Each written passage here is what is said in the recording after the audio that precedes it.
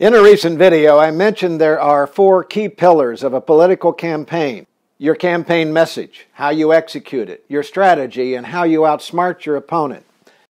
This is the second of two videos on executing your message. Today we'll turn our attention to your advertising tools, the means you'll use to present yourself to voters who will never meet you or hear your speeches. They include your website, video and television ads, radio, persuasion mail, telephone calls, internet ads, newspaper ads, volunteers, handouts, and yard signs. All cost money all candidates have to make some hard decisions about which are best for them, for very few can afford to do all of them. As you make choices, there is one question more important than any other. What is the most cost efficient and effective way to get your message to a voter?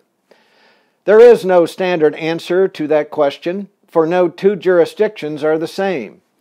In a statewide race, cable and commercial television is usually imperative. Mail and internet ads are used for niche markets.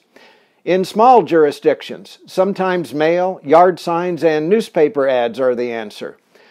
In suburban districts, it is often an adroit mix of radio, internet ads, persuasion mail, telephone calls, and ads in weekly newspapers. Ultimately, your decisions will be based on your resources, the jurisdiction where you live, the number of voters you must reach, and the demographics of your target audience. This is also a decision that smart candidates delegate to people who do it for a living.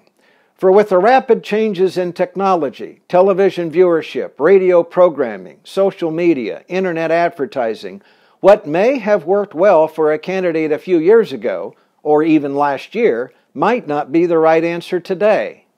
And this is a perfect example. Meet Rob Astorino and Steve Neuhaus.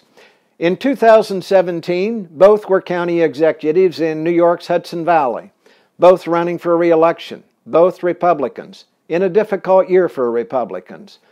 Both had in past campaigns made heavy use of cable television to drive their message, supplemented with targeted mail. In the 2017 campaign, they took different paths when executing their strategy. Astorino stuck with what he'd done in the past, spending more than 2 million on cable TV advertising. Neuhaus took a fresh look at demographic and viewership trends and decided to change course. He cut all of the cable TV out of his budget and decided instead to put it exclusively into mail, internet, and Facebook advertising. In a bad year for Republican candidates in the Hudson Valley, Astorino lost. Neuhaus won a landslide victory.